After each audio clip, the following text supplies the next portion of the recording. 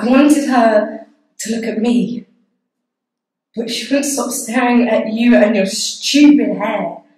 And I didn't understand because you would get toast crumbs all over the floor. You asked dumb questions and you were a dickhead. And I would just go home every night and scream into my pillow. But Becky Brown's a girl. Steve. Yeah.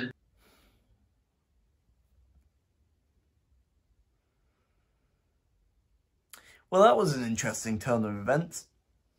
What? You mean you being a big gay? What? I'm not gay. Look at me.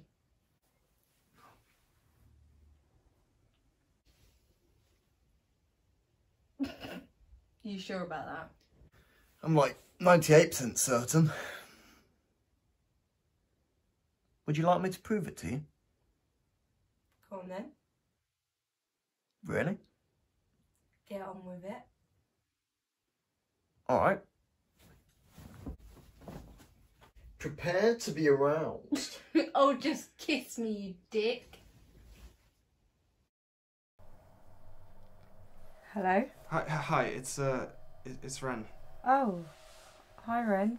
I just wanted to say, I'm sorry that it didn't work out the way we wanted. Oh, Ren. uh, No, I, I know what you're about to say, and trust me, I, I get it. Ren, we've been through this over and over again. What makes this time any different? I am not the afraid, weak guy that I was before Naomi.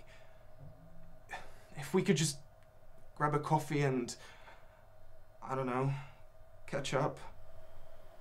Yeah. Yeah, sure. That that'll be nice. Okay, great. Um, 1 p.m. usual spot. Sounds good. I'll see you tomorrow. See you tomorrow.